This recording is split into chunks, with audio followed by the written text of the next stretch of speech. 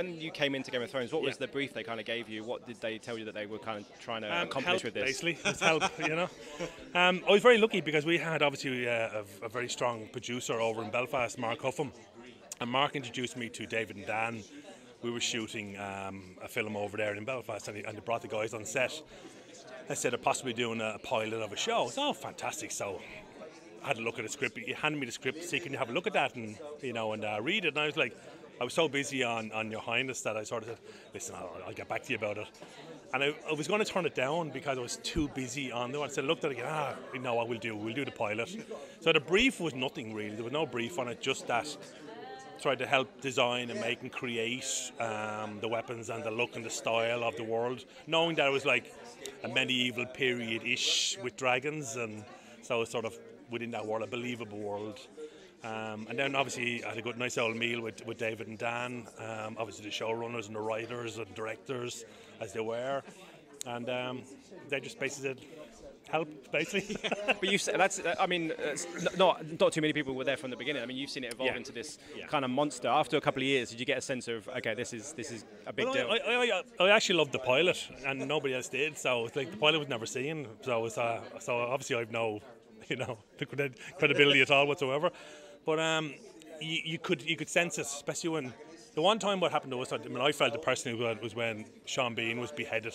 You know, Ned Stark, because Sean was such an influence on the set and such a, you know, he's a he's a fantastic actor, but his presence on set and the fact that he's acting on set, and when he cut his head off, we're going, that's it, it's over.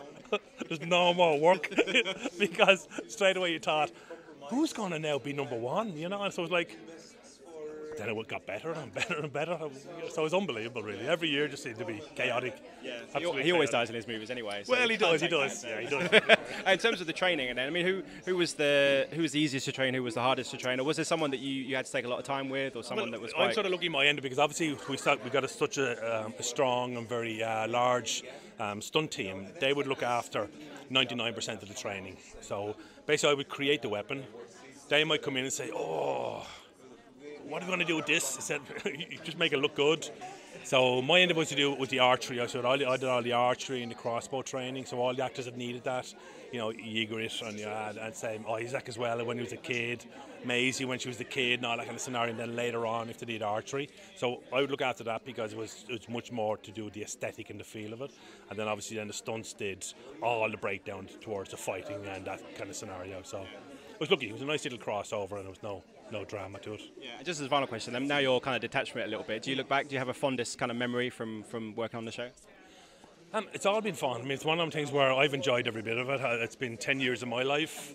Um, not so much meeting with the actors, it's been good fun. But the fact that as a department, with an army department, we sort of overlooked a lot with just like the, the knuckleheads that get on with the guns and, and that kind of scenario. Obviously, well, we don't, but so our end of it is making and designing these beautiful weapons so that there is skill out there. They're all handmade, they're all crafted. So it's like one of the things where it's just to show that the, the work is available, you know, and it's and, and, and it's, it's there to be done. So I've loved all the weaponry and I loved all the situations that we've been in, all the training, all the locations, all the, the filming. So it's been a, it's been a good old, uh, good ride. Ladies and gentlemen, you're watching Hey You Guys! Hey, you guys, huh? Hey You guys. Is that from the Goonies? It is indeed, yeah. Nice. Hey, you guys!